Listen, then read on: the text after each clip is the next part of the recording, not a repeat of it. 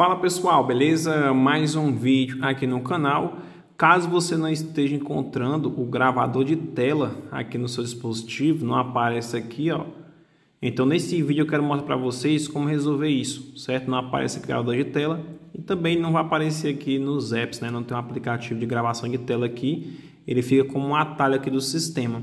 Ele fica aqui, galera, dessa barra de notificações, aqui os ícones e ele fica aqui, certo? Só que no caso não está aparecendo, olha só. Para você resolver isso, basta você clicar aqui nesses três pontinhos. Clicando ali, pessoal, você vai clicar em editar botões. E aí você vai procurar o gravador de tela aqui, ó, nesses que estão desativados. Ó, no caso está aqui ele, ó. A gente vai ativar ele, a gente vai segurar em cima dele e descer aqui para baixo. Pronto, feito isso, só clicar em concluído. E agora a gente já tem o gravador de tela aqui, certo pessoal? Olha só, a gente está agora com o gravador de tela, é só clicar em cima e já tem as opções de gravações aqui. Vou gravar o meu som e o microfone, iniciar a gravação, ó, e já está aqui para a gente conseguir gravar, beleza? Está já gravando de boa.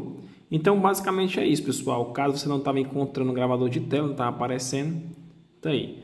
É isso o vídeo de hoje, até a próxima, tchau, tchau.